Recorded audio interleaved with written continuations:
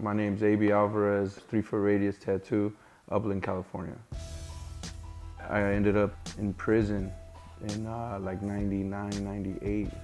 Uh, my cellie tattooed and he explained everything to me on how to make a homemade gun, how to do this, how to do that, how to make ink. So when I got out, I ended up uh, making a homemade gun at home, tattooed myself.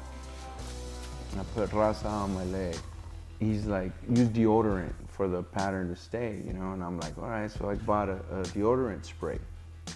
So I go home and I'm spraying my, yeah, right? I'm spraying my leg with liquid deodorant.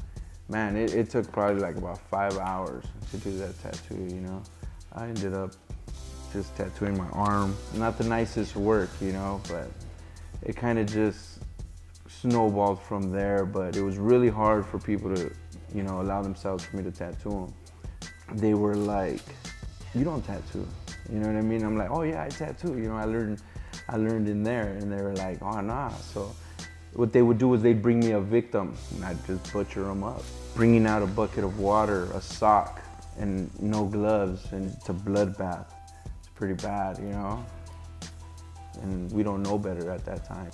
But luckily we've learned and progressed.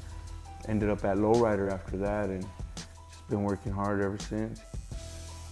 I call Southern California the mecca of black and gray.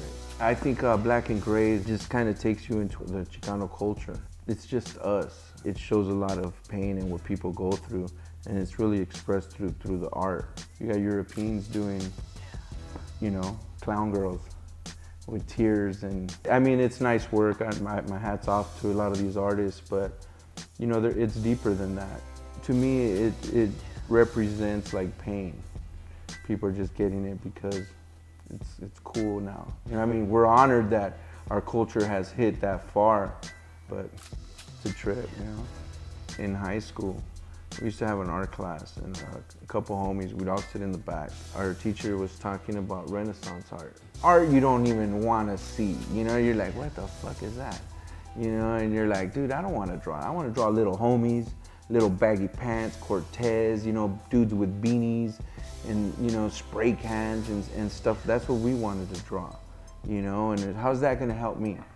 You know, now I'm collecting books on that stuff, the Raphaels, Michelangelo, and, and you're like, whoa, you're in awe to be at that show in Extravaganza. We got judged by Jack Rudy, Tony Olivas, and Corey Miller.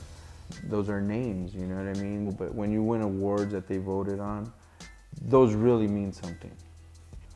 Got my studio now, three foot radius. It felt real surreal to have a business, a legit business. I mean, I'm always used to trying to beat the system all the time the shortcut, the illegal way, you know, especially when you're incarcerated, you're like, fuck that. It was always everybody else's fault. Oh, they're trying to keep us down. This is where they have us. No, this is where I have myself. Uh, when I sobered up, that, that really woke me up. My son, my wife, and my kids, that's what got me going right. I had to fend for other people, not just myself, you know, no excuses, no more on you know, my son, he almost died when he was born. It kind of snapped me out that here's my son fighting for a life in a world he that we all say sucks. And here I am throwing mine away. My son saved my life. You know, all my kids, all three of them, you know, and my wife too. She's been there for me for a long time. I think that's where the, the crying girls come from. You know what I mean? All the shit we put them through. You're lucky to tattoo a person. You know, sometimes we feel that they're the lucky ones, but, but sometimes it's us.